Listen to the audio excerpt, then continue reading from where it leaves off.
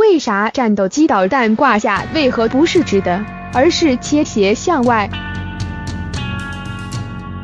原标题：为啥战斗机导弹挂架为何不是直的，而是切斜向外？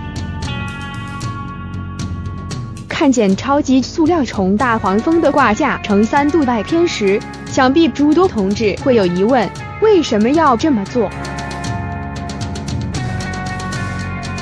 为了两个字：安全。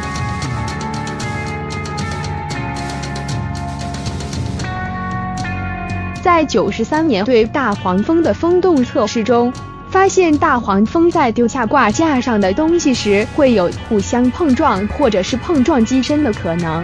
这一方面是由于一定程度上机身的不利气流造成的。当然也有因为前缘精益、边条以影响的说法。这样安排挂架，可以使导弹或者炸弹脱离的时候可以尽快离开飞机，避免给飞机以及飞行员带来危险。当然，这并不是超级大黄蜂才有的设计，多数飞机都有这个设计，但是有些并不明显。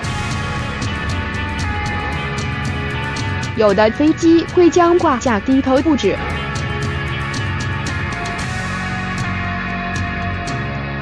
可以明显看出，F 三十五的挂架不仅向外，其外置格斗弹的挂架还向下。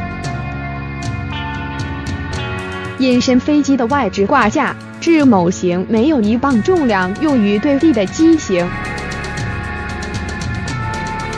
这样做的优点不言而喻。能在挂载物投放初始时将其诱导至安全范围，也能在一定程度上减小机体气流对导弹的影响，进一步使导弹或炸弹快速脱离飞机的流场。F 二十二的格斗弹滑轨可以明显看到其挂架呈外八，不仅向外，而且向下。当然，这样作业会有缺点。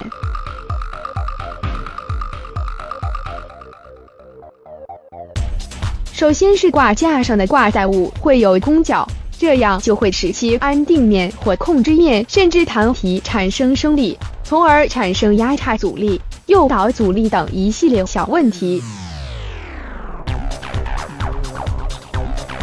虽然也有升阻比的关系。但是这些升力并不是直接作用与机翼升力方向相同的地方，并且会在一定程度上对挂架以及机翼产生应力。亚音速下速度越高越严重，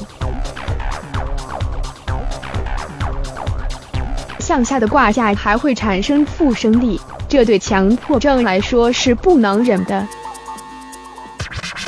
当然，这些都没有挂载物直接撞上机身重要。